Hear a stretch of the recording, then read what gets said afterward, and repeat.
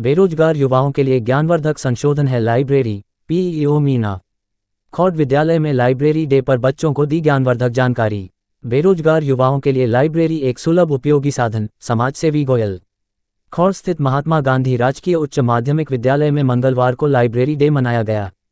जिसमें प्रधानाचार्य मनाराम मीना ने कहा कि लाइब्रेरी डे एक ज्ञान का खजाना है, जिसे आज का युवा वहाँ से विभिन्न ऋषि मुनियों व महापुरुषों की जीवनियों को पकड़ उनके द्वारा बताए गए नैतिक मूल्यों व संस्कारी ज्ञान को प्राप्त कर सकते हैं और अपने जीवन में उतारकर एक अच्छा इंसान बन सकता है।